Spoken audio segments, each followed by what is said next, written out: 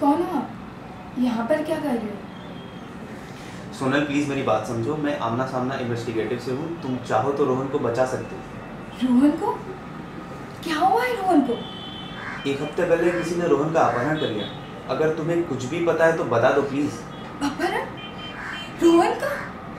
कब? कैसे? कहाँ पर? क्या तुम्हें इस बारे में कुछ भी नहीं पता?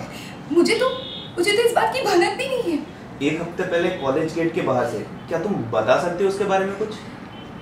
मैं मैं और रोहन एक दूसरे को बहुत पसंद करते हैं। पर मेरे पापा और मेरे घर वाले इस रिश्ते के खिलाफ है। इसीलिए तो उन्होंने मुझे घर में कैद करके रखा है। क्या तुम्हें अपने घर वालों पर शक है? कहीं उन्होंने तो नहीं? नहीं नहीं मेरे घर वाले ऐसा नहीं कर सकते। मैं मैं मानती हूँ कि पापा इस रिश्ते के खिलाफ है पर पापा ने खुद रोहन को घर पर बुलाया था और रोहन से बात तक की थी। उन्हें उन्होंने रोहन से कहा था कि पढ़ाई पूरी होने के बाद वो हमारी शादी करवा देंगे। यहाँ तक कि वो रोहन की फैमिली वालों को मिलने तक गए थे। जब उन्हें सब मंजूर है तो तुम्हें कैद कर कर क्यों रखा है?